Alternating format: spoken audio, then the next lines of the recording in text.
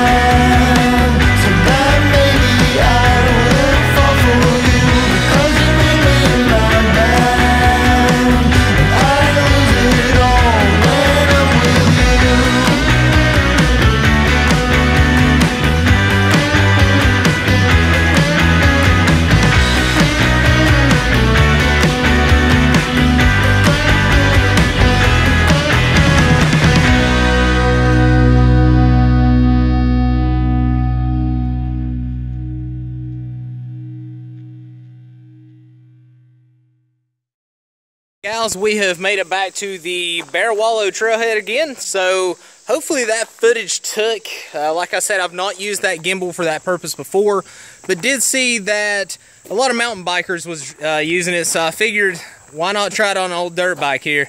So I'm going to hop back on the trail, head back to the house instead of taking the uh, hard road home, and hopefully all this works out, and I'll see you guys on the next video.